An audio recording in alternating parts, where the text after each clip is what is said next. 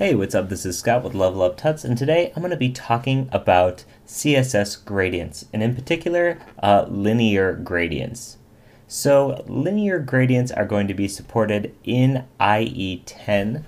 They're also supported in Firefox version 3.6 and up using the Moz prefix, Chrome 4. up using the WebKit prefix, and you'll still have to use the WebKit prefix even on Chrome 25 uh, 4.0 and up for Safari using the WebKit prefix, Opera 11.1 and up using the O prefix, and same thing for 3.2 with the WebKit for iOS and 2.1. So I would take this as another progressive enhancement sort of thing. You can add a gradient it might look nicer for your clients or your people on your site with a newer browser, and it will still look fine uh, for people without it. It's just not going to have a gradient. So let's get into CSS gradients. And one thing that's interesting about CSS gradients is the is that it might not be exactly how you expect it to be declared. Let's go to our wrapper and we're going to add this as a gradient going from white to gray on our background that's white.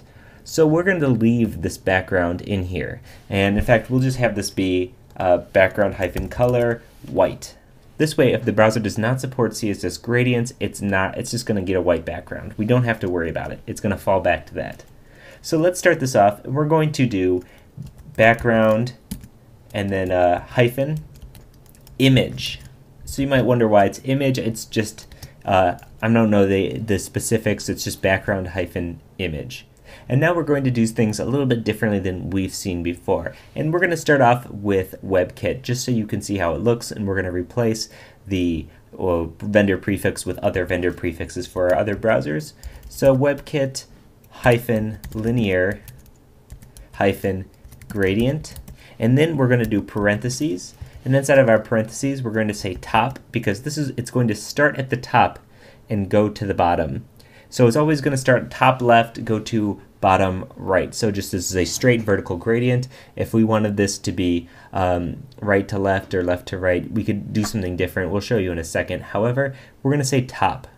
And we're going to now do a comma and the color that we want at the top.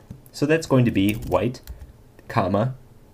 And now we're going to want the color that we gradient to. We're going to have this be a dark gray, 333.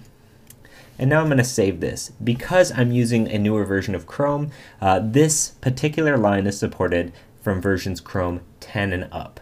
I don't have to worry about anything else, and we'll save this just so you can see what it looks like, and then we'll fill out the rest of our vendor prefixes. Let's go back to Chrome here and refresh. You can now see over the course of our div, it is gradienting down to uh, 333. Cool. Well, what if you wanted it to be horizontal? If you didn't want it to be uh, vertical? Well, we could say left save, and now let's come to refresh. And now the white is starting at the left and is going to the right.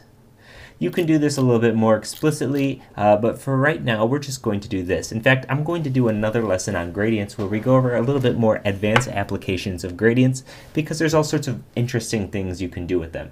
However, that's out of the scope of one video. So now that we have our gradient going here, let's actually take it back to top and bottom, uh, top, not Tom, and now we're going to add the rest of our vendor prefixes.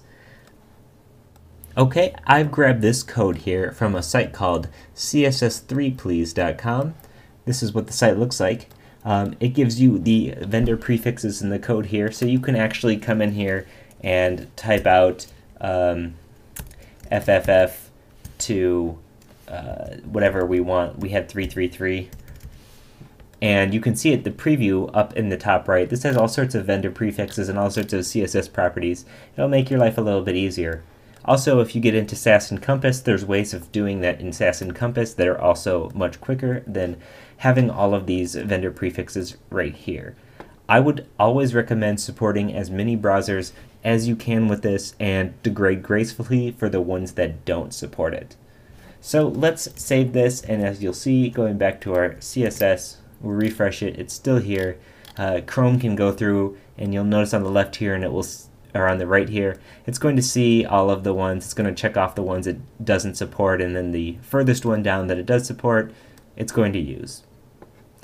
So this is how you use gradients in CSS. It's really nice and easy. There's nothing nothing to it. It's just maybe a little bit different. I would recommend checking out css3please.com to grab this code to copy and paste in here, and we'll be using it on many of these other tutorials in the future. Um, I just wanted to make sure you understood a little about CSS3 before introducing the site itself. I'll make the link available in the description of the video below. Okay, so as always, this is Scott with Level Up Tuts. Uh, if you have any questions, leave a comment on the video below. Hit us up at Twitter at Level Up Tuts. We're going to be getting into some really cool CSS stuff. I'll show you how to do more interesting gradients than just a standard gradient. But for right now, uh, you have all sorts of tools that you need to get working with CSS3. You've got background gradients, text shadow, box shadow, border box, and uh, border radius. This is a lot. Of, that's a lot of stuff to get started with. Once again, this is Scott with Level Up Tuts, and thanks for watching.